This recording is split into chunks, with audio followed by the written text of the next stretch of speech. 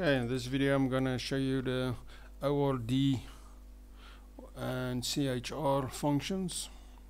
Okay, so the ORD is usually used to determine the, the ordinal value or ASCII value of a character.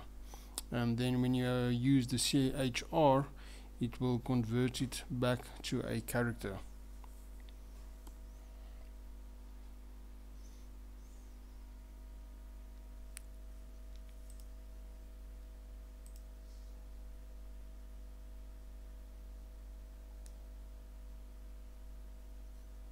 I'm gonna save my program quickly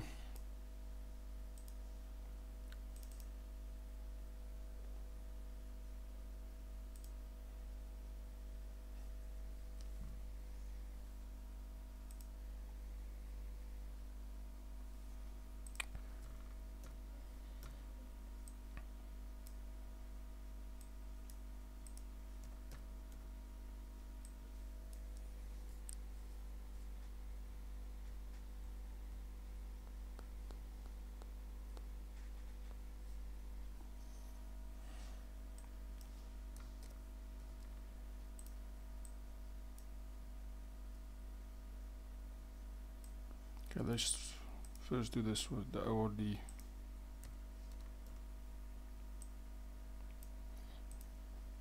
Okay, I'm gonna limit my edit box, um, the length, max characters.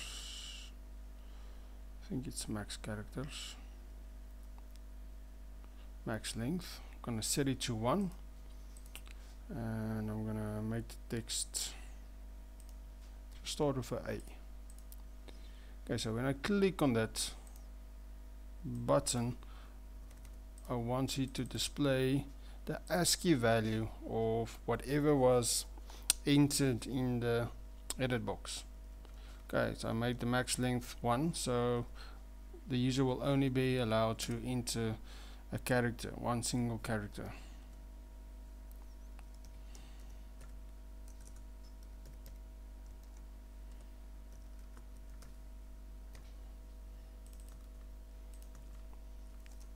Okay, the function is ORD, ORD, and let's edit one dot text, and the first character in that edit one dot text.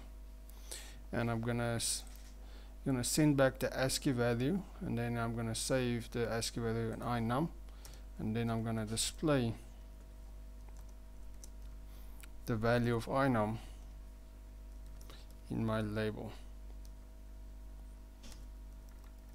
The inum is integer, so I need to convert it to a string, int to str.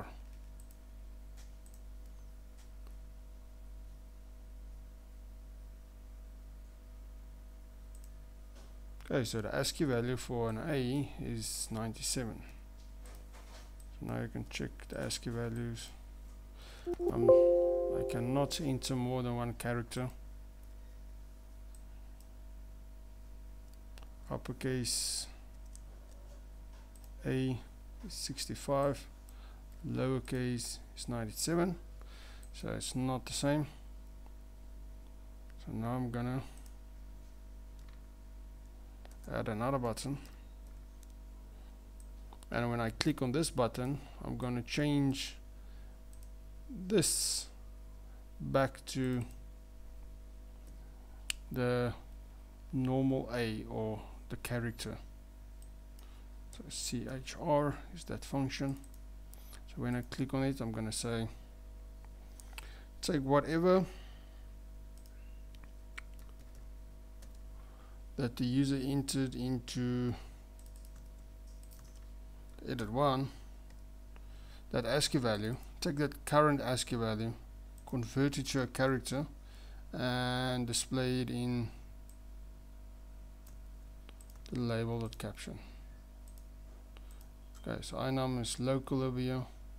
So let's just make it global so that it can work in both procedures.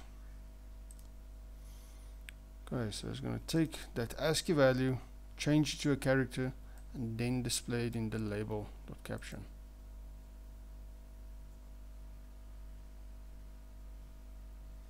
so A converts it, it's 97. When I click on this button, it's going to take that 97, that ASCII value, and return it to a character. It's going to make it A again. So let's make it uppercase A, change it to ASCII value, and then when I click on that, CHR, it must change it back to the character. Okay, this is quite hand uh, useful or handy when you want to do encryption. So in a future video, I will show you how to encrypt text using these two functions.